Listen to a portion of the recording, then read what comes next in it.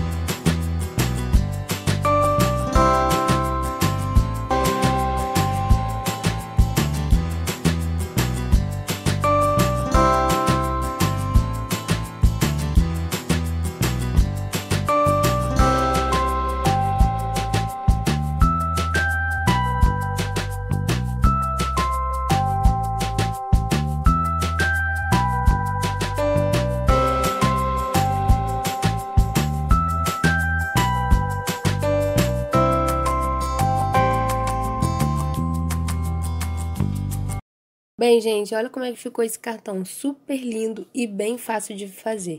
Se vocês gostaram desse vídeo, deixe seu like, comenta aqui embaixo que vocês gostaram desse tipo de vídeo, desse formato, desse jeitinho. Deixa a dica aqui embaixo também. Compartilhe em todas as suas redes sociais. Fiquem com Deus. Beijoca. Tchau, tchau.